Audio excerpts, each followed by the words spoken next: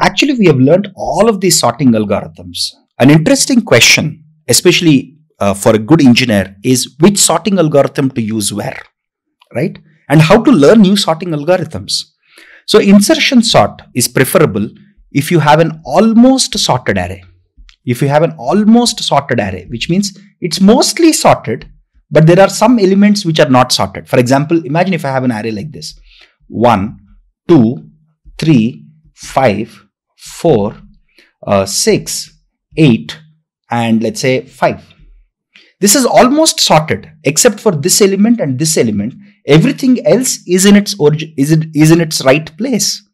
Right? If you look at this, if you look at this array, this is almost sorted except for this element and this element. Everything else is in its place. Right? So if you have an almost sorted array, then insertion sort is very good. Because the best case because what happens what is the best case for insertion sort? If the array is already sorted right? In such a case you would get an order of n time complexity. And of course the space complexity is order of 1 and insertion sort works if your array is almost sorted. Merge sort is a very interesting algorithm. It has order of n log n. It has order of n log n time complexity and order of n space complexity there are some research papers which have extended merge sort to not have this additional space, but they're fairly complex. They're not straightforward and trivial, right? Number one. Number two is the most important application of merge sort is if your data does not fit, if your data or if your array, if your data or array does not fit in RAM, does not fit in your memory. We discussed about external sorting, right? We discussed a lot about external sorting right? On how, if your data doesn't fit into the RAM, how merge sort can be used. So merge sort is extremely powerful if you want to sort large arrays, right? Large amounts of data if you want to sort. And this happens a lot, trust me. Imagine if I have the data of 100 million products on Amazon, right? If I have the price of the 100 million products and if I want to sort all of them by the, by the price, how do I do it? I do it using merge sort, right? So quicksort is a very good general purpose. It is a good general purpose sorting algorithm, especially the randomized variant. If you use the randomized variant, because then you can avoid the worst case of order of n square, right? So quicksort is a very nice general purpose. So if you don't have any other constraints, you should preferably use quicksort, right? Because people have used it in C, in Unix, and in the earlier versions of Java right? This was one of the most popular algorithms. Now quicksort has been replaced in some of these implementations with others, right?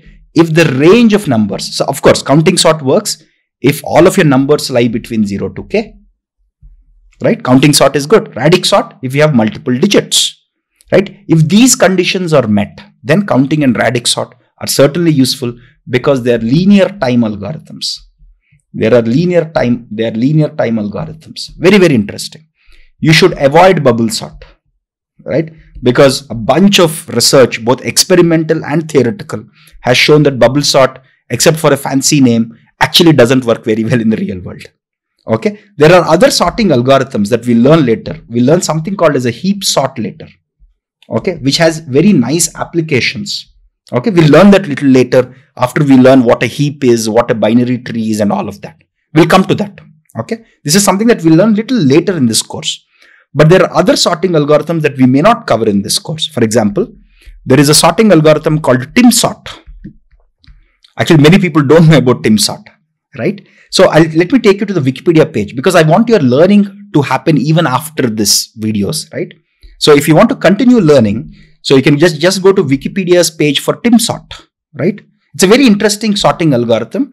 It is called a hybrid sorting algorithm because it uses multiple algorithms within itself. Okay, what are hybrid algorithms? Hybrid algorithms use two or more algorithms. So timsort uses merge sort and insertion sort internally. It's a stable sorting algorithm and it's actually very popular. It's actually built by Tim Peters and it was popularized because in the Python programming language, in 2002, it was first implemented as the default sorting algorithm. Remember, in the early versions of C, Unix, and Java, right? In the early versions of Unix, C, and Java, people actually used quicksort, right? Right? But slowly, what happened was timsort from 2002 started becoming very popular.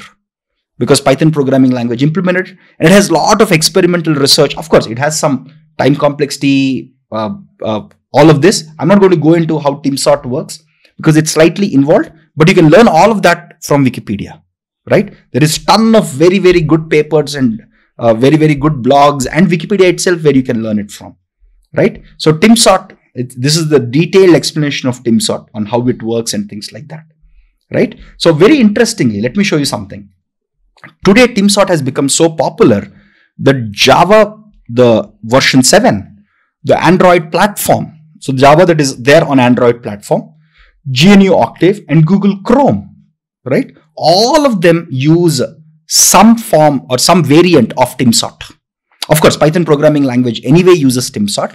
So TimSort is becoming popular that Tim Peters has uh, introduced in 2002 into this uh, into Python programming language. It's becoming more and more popular because more modern implementations like Chrome, GNU Octave, the Java uh, the Java version 7 on Android platform, all of them have now slowly moved to the uh, have moved to uh, your TimSort instead of Quicksort.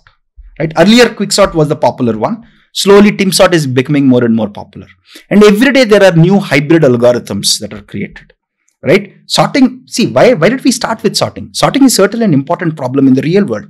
But we learned so many techniques because of sorting. Right? We learned to divide and conquer in merge sort and quicksort. Very popular algorithms. Right?